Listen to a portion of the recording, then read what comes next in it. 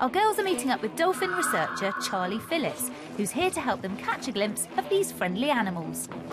Hi, Neve. Hello. I know you like dolphins, don't you? Yeah. Yeah. Have you ever seen any of our dolphins from a boat before? No. Want to? Yes. The Moray Firth is actually home to 200 resident bottlenose dolphins, which can often be seen during the summer months. That's if you know where to look. With their eyes on the lookout, all the girls need to remember to do is hold on tight.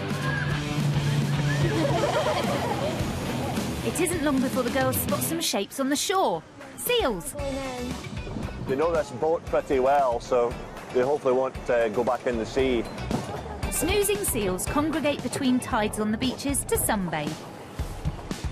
But to spot dolphins, Charlie gives the girls some expert advice.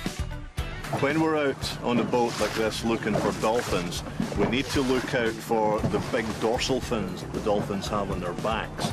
And some of them have got bite marks and scratches on them.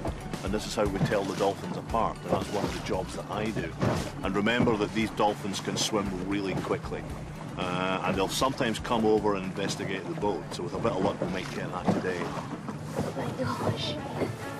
Come on, girls, with an area the size of London to search, now you know what to look for. You better get going. And it isn't long before Tracker Charlie sees some fins he recognises, with a little extra surprise. Here, right here. Dolphin. Girls, dolphins. Look, a mum and a baby. Oh my gosh. Mum and a baby coming right past us. Dolphin. Way, look, there we go. No! Hopefully we might see them up really close pretty soon. It seems amazing that they're all around us.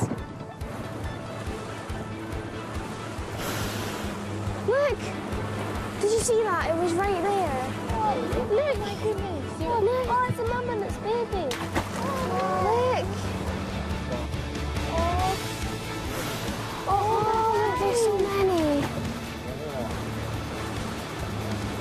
Oh, look, it's underneath. Oh, oh my Well, the young gosh. ones, see how it's here? It went under the boat. Yeah, coming under the boat. Oh, they always look like they're smiling. Look! Wow! Oh, cool. Here we go, here we go, here we come, here we come. Hey. I actually thought we weren't going to see them in the end, Mm. but then they start to swim beside us. It looks like they're always smiling at me, so it makes me smile.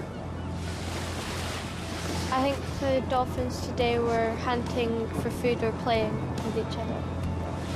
I didn't expect to see babies. I thought I was going to see about three or four, but I ended up seeing about over ten. I feel really excited and like happy to have been able to have this experience of seeing dolphins right up close. Awesome! With a bit of expert knowledge and a lot of teamwork, girls, what did you do? We went wild!